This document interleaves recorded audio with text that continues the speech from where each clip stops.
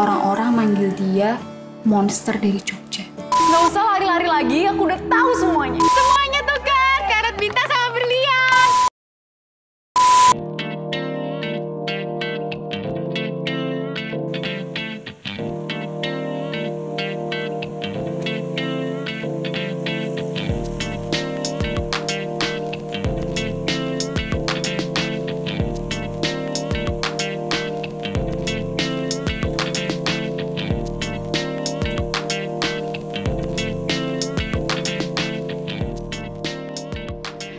Coklat Friends, aku Stella Cornelia. Aku seorang penyanyi dan juga terjun di dunia acting.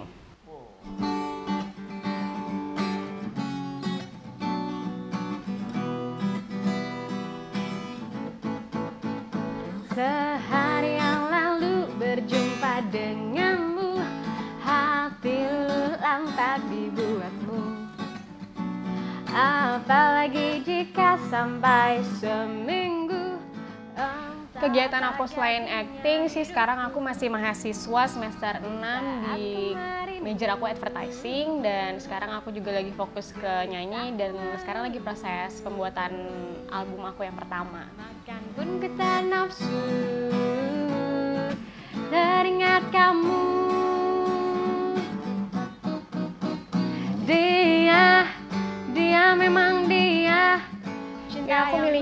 karena dari kecil aku emang udah hobi nyanyi Jadi mama aku kayak eh, ngelesin aku di salah satu institusi eh, kesenian Dan di itu kelas 1 SD sampai aku kelas 4 SD Jadi aku les nyanyi. Terus pas kelas 5 aku mungkin udah bosen kali ya karena masih kecil Jadi aku beralih ke modeling. Sampai akhirnya SMA kelas 3 ada sebuah audisi sampai akhirnya aku tergabung dalam sebuah idol group yang namanya JKT48 dan selama 2 tahun sampai akhirnya juga aku memutuskan untuk bersolo karir.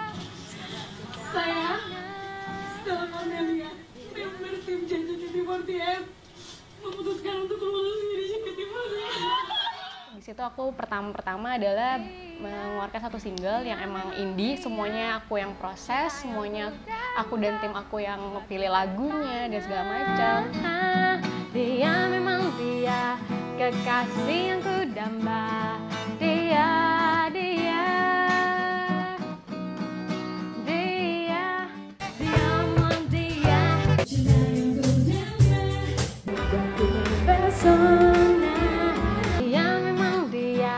kekasih yang ku damba Kalau disuruh milih nyanyi sama acting sih susah ya.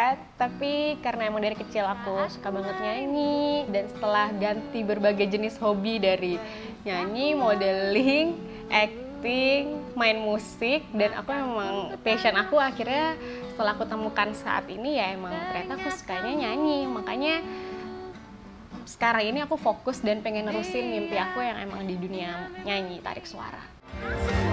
Hmm,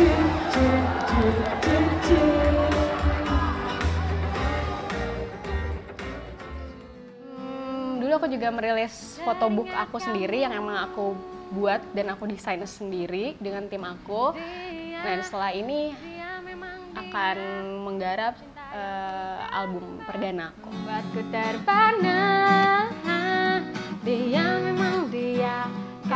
influence aku di dunia acting, aku suka sama Anna Hathaway sama Prisya Nasution karena mereka berdua itu totalitas banget setiap mendapatkan peran apa yang dapetin sama mereka emang keren banget gitu pembawaannya. Kalau kayak Prisya Nasution aku suka waktu dia di Sekolah Rimba. Dia kayak bener-bener belajar bahasanya sampai aku kayak yakin banget dia itu pernah ada di dunia situ gitu dan emang keren terus kalau di dunia tarik suara aku suka Katy Perry karena eh, setelah aku nonton dokumenter dia emang keren banget. Dia tuh bukan cuma artis yang bisa nyanyi yang bisa stage checknya bagus tapi dia bener-bener bisa jadi idola. Dia setiap naik panggung dia selalu bener-bener tersenyum walaupun dia ada masalah. Jadi aku bener-bener pengen bisa kayak dia jadi sosok idola yang disukain sama fansnya bukan cuma artis aja. gitu dia. Dia memang dia. Dia memang dia. Kekasih yang kudamba.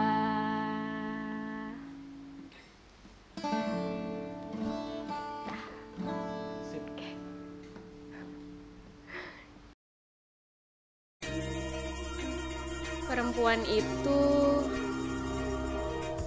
unik sensitif, troublemaker, setia, dan perempuan itu suka banget dibelanjain.